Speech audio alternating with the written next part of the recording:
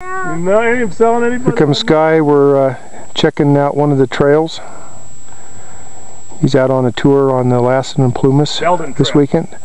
This is the Belden Trail, looking for the infamous Belden Trail Up out of Chips Creek. up out of Chips Creek. Here he comes. They stand like soldiers. We're going to find out if he found it. We think this may be it. Great weekend for doing trail inventory. Great weekend for camping. No, no. I just calling him. Lucky to have Sky Zaffarano here, the OHV program manager for the Shasta Chappie OHV area, come out and help us look at these trails and give us ideas on how to maintain them and keep them going.